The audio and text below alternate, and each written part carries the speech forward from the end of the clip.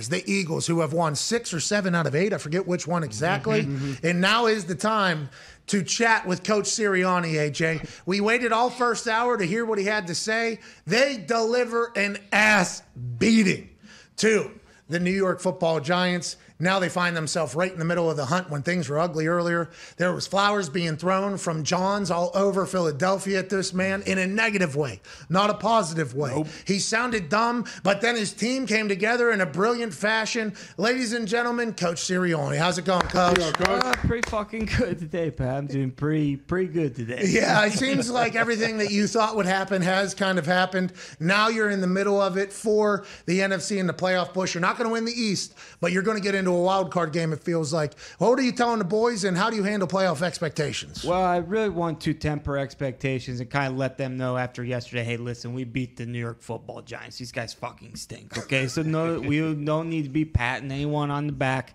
Uh, we talked about Gardner Minshew earlier. I don't know why the hell he had the balls to come in and say, "Hey, when am I going to start playing quarterback?" I told you a couple weeks ago, Gardner, you're not playing quarterback. Okay, Jalen Hurts is unbelievable.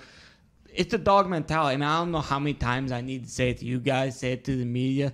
We're going to run the football down your fucking throat until you can stop us. And guess what? People haven't been able to stop us. Hey, especially with Jalen throwing the ball a little bit better. Lane Johnson had a touchdown. A big oh. guy Tud, that had to feel pretty good, huh? For morale on Christmas weekend? Absolutely. I schemed that one up uh, because, once again, I am an offensive genius. I am a guru. Everyone knows that I know what I'm doing. When it comes to X's and O's, there's really nobody better in the National Football League than me.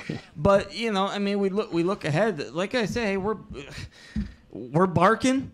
We're biting. We're doing a little bit of both right now. Guys are fiery. I mean, the defense was shitty kind of all year, and people were comforted with my defensive coordinator's head. And now everyone, you know, we got one of the best defenses in the league. How does that work? I'm a great coach. I said last week I sh- I I won't win coach of the year. Um, I'm the coach of the year. Okay, so we can drop that charade. If we make it to the playoffs, we're not going to win just one game Why? or two games Why? or three games. Why? If we get into the playoffs with our dog mentality, we'll see you in LA. We oh. will be in the Super Bowl. Oh, the dogs are drinking water from the Super Bowl. That's right, the Super Bowl, not just a little dog bowl. We will be drinking water from the Super Bowl at SoFi Stadium in oh, Los Angeles. Awesome.